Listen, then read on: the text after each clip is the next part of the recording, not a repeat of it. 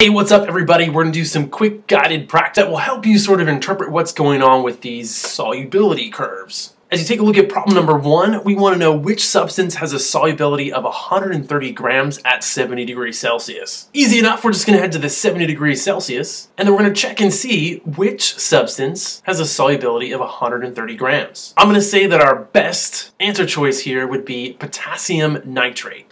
Boom, and we're done with problem number one. As we look at problem number two, it says which substance is least soluble at 60 degrees Celsius. Pretty easy, I'm just gonna head up the 60 degree Celsius line until I hit my first substance. In this case, it's ammonia. I can only dissolve approximately 20 grams of ammonia for every 100 grams of water. Everything else will be more soluble at that temperature. Problem number three says which substance is most soluble at 20 degrees Celsius. So at 20 degrees Celsius, just gonna go as far up as I can. Potassium iodide, you're our winner, most soluble at 20 degrees Celsius. Problem number four, 50 grams of which solution will settle out when it is cooled from 70 degrees Celsius to 50 degrees Celsius. Ooh, okay. So I'm going from 70 to 50. Now, as I take a look at potassium chlorate, at 70 degrees Celsius, I would have had about 30 grams dissolved in there. If I cool it down to 50 degrees Celsius, I could only dissolve about 20 grams. So about 10 grams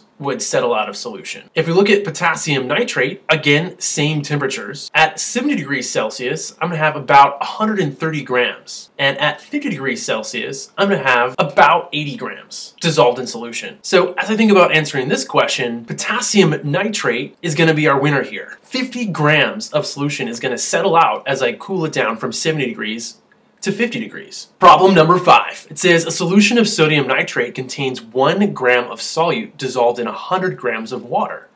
At 50 degrees Celsius, this solution is considered. So 50 degrees Celsius, and I'm focused on sodium nitrate. One gram of solute dissolved in 100 grams of water is going to be way down here. And again, we're focused on sodium nitrate.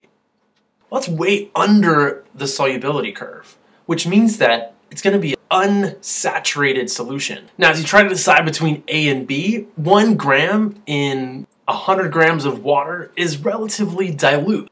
We'll talk about the terms dilute and concentrated as we move through this unit, but definitely unsaturated. Okay, and this brings us to problem number six. It says, which procedure will increase the solubility of potassium iodide in water? Okay, now this question is a little bit deceptive because it's asking you to, it's asking you to think about which would increase solubility. Stirring the solute and solvent mixture would increase the rate at which you got things to dissolve, as would increasing the surface area. But that's just gonna speed up the process of dissolving, not get you to increase the amount that you can dissolve.